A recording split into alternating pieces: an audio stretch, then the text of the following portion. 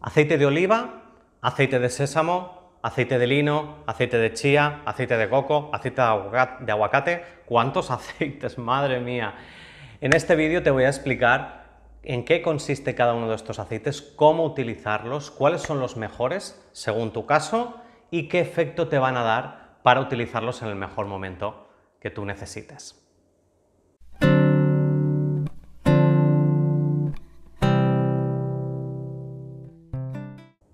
El aceite es uno de los ingredientes más interesantes para utilizar en nuestra dieta, sobre todo porque nos aporta una buena cantidad de grasas.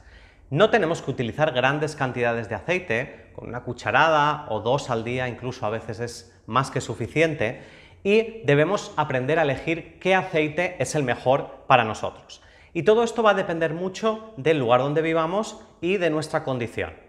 Si estamos sanos, si no tenemos ningún problema de salud, vivimos por ejemplo en España o en un país más cálido, el aceite de oliva es fantástico. Podemos utilizar, yo recomiendo siempre utilizar el aceite de primera presión en frío o incluso el aceite de oliva virgen extra, siempre que especifique que se ha obtenido por medios mecánicos. ¿Por qué? Porque cuando empezamos a utilizar aceites donde se ha utilizado eh, productos químicos o se han elevado a altas temperaturas, ese aceite empieza a desnaturalizar. Por lo tanto, siempre aceite de oliva de primera presión en frío, aceite de oliva virgen extra. Luego tenemos el aceite de girasol como uno de los más interesantes también. El aceite de girasol es muy bueno también porque tiene un puntito menos de grasa, lo podemos utilizar también para freír, es algo más económico y aguanta muy bien las temperaturas muy altas. Si no tienes ningún problema de salud, puedes utilizar este aceite. Para personas que tengan eh, un problemas de salud un poquito más acentuados, yo siempre recomiendo utilizar el aceite de sésamo. Es un aceite bastante más neutro, no tiene neutro, cuando digo neutro me refiero a nivel energético, desde la macrobiótica, no tiene un efecto tan expansivo como pueda tener la oliva o como pueda tener eh, las semillas de girasol el aceite de girasol.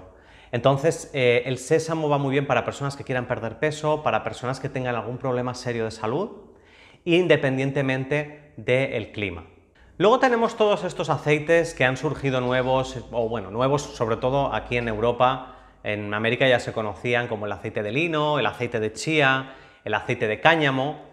Todos estos aceites que vienen de estas semillas tan pequeñas que además son muy poquito grasas, Vigiladlos muy bien porque son aceites que incluso a temperatura ambiente pueden desnaturalizar, son muy buenos para utilizar en crudo y eh, aportan muchas grasas de buena calidad.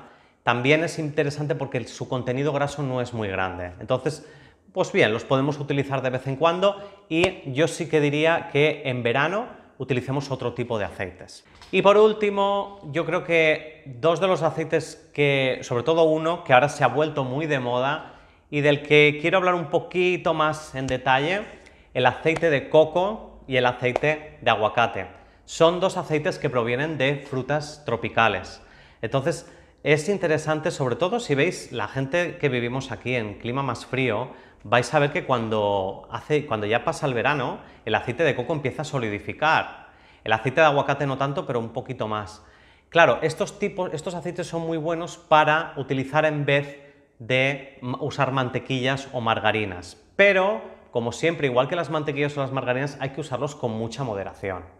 Pensad que eh, estos alimentos se han utilizado siempre en pequeñas cantidades y muchas personas ahora los están utilizando como si fueran realmente casi mantequilla o margarina, utilizándolos en postres en grandes cantidades.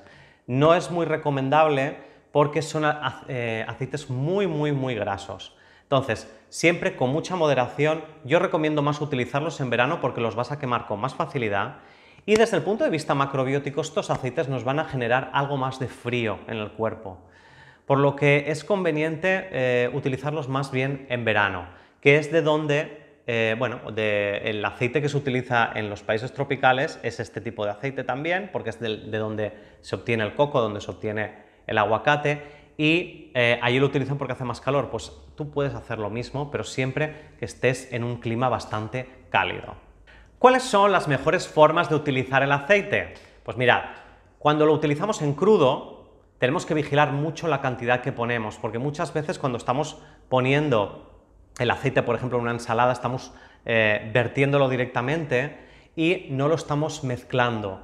Entonces, ¿qué pasa? Que normalmente utilizamos más cantidad de la que debiéramos. Para eso, igual que con la sal, lo ideal es más que utilizar tal cual el aceite, mezclarlo con sal, mezclarlo con otros ingredientes como vinagre u otros aderezos y crear un propio aliño que vaya directamente a la ensalada. Yo incluso a veces rebajo con un poquito, un poquito solo de agua para que ese aderezo se quede eh, lo más homogéneo posible.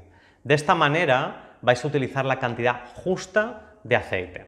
Otra forma de utilizar el aceite que me gusta mucho es en salteados o estofados, donde eh, la verdura o lo que vayas a cocinar se va a saltear con nada, con un poquito de aceite y le vas a dar un movimiento rápido.